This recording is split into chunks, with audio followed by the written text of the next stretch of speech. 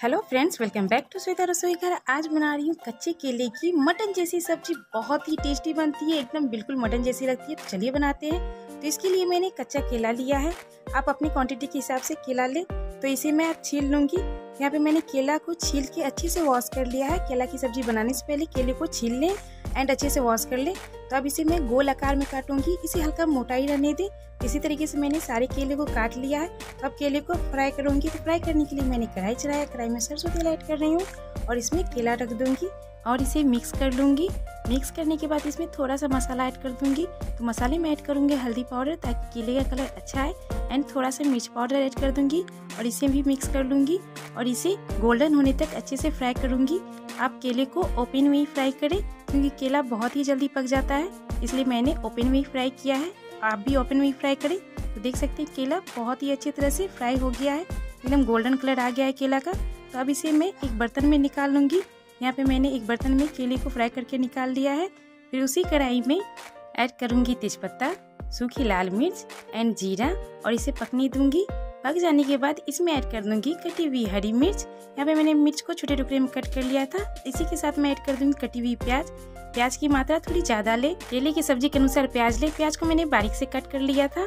तो अब इसे मैं गोल्डन होने तक अच्छे से फ्राई कर लूँगी। यहाँ पे देख सकते हैं प्याज का कलर चेंज होने लगा है। तो अब इसमें ऐड कर दूँगी अदरक लहसुन का पेस्ट। इसे भी थोड़ी देर चला लूँगी और इसे थोड़ी देर भून लूँगी। थोड़ी देर भूनने के बाद इसमें मैं मसाले ऐड कर दूँगी। तो मसाले में ऐड करूँगी हल्दी पाउडर, धनिया पाउडर, लाल मिर्च पाउडर एंड स्वाद अनुसार नमक। और इसमें थोड़ा सा पानी ऐड कर दूँगी ताकि मसाले अच्छे से भून जाए एंड जले नहीं। तो यहाँ पे मैंने पानी ऐड कर दिया और इसे मिक्स कर लूँगी। और इसे अच्छे से भूनना है और मसाले को बीच बीच में चलाते रहना है ताकि मसाले अंदर से चिपके ना। तो देख सकते हैं मसाले का कलर भी बहुत अच्छा हो रहा है एंड मसाले भी ड्राई होने लगे इसे मैं अच्छे से और भून लूँगी। तो यहाँ पे मसाले को मैंने अच्छे से ड्राई कर लिया है। तो अब इसमें फ्राई किए हुए केले ऐड कर दूँगी और इसे मिक्स कर लूँगी। इसे भी मैं थोड़ी देर भूनूँगी। फ्रेंड्स अगर आपको मेरी रेसिपी अच्छी लगी है तो प्लीज़ मेरी वीडियो को सपोर्ट कीजिए एंड लाइक सब्सक्राइब करना ना भूलें। तो यहाँ पे मैंने केला और मसाले को अच्छे से भून लिया है। तो अब इसमें पानी ऐड कर दूँगी। पानी आप सब्ज़ी के अनुसार ऐड करें। तो यहाँ पे मैं पानी ऐड कर रही हूँ। इस सब्ज़ी में ग्रेवी के अनुसार ही पानी ऐड करें, क्योंकि केला फ्राई करते समय ही आधी पक जाती है। तो यहाँ पे मैंने पानी ऐड कर दिया और इसे कवर करके अच्छे से पका लूँगी। तो यहाँ पे मैंने कवर कर दिया है। फिर से थोड़ी देर बाद चेक करूँगी तो सब्ज़ी की ग्रेवी गाढ़ी हो रही है। थोड़ी सी ग्रेवी गाढ़ी और होगी। तो मैं इसे ग्रेवी को गाढ़ी कर लूँगी। आप भी ग्रेवी गाढ़ी ही रखें। तो देख सकते केला बहुत ही अच्छे से पक गया है। तो अब लास्ट में ऐड कर दूँगी गर्म मसाला पाउडर और इसे मिक्स कर लूँगी।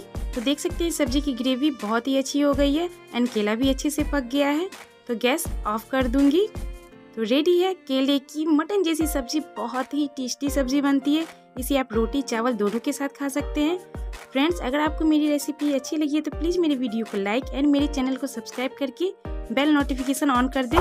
तो फिर मिलते हैं नेक्स्ट वीडियो में, तब लिए bye friends and take care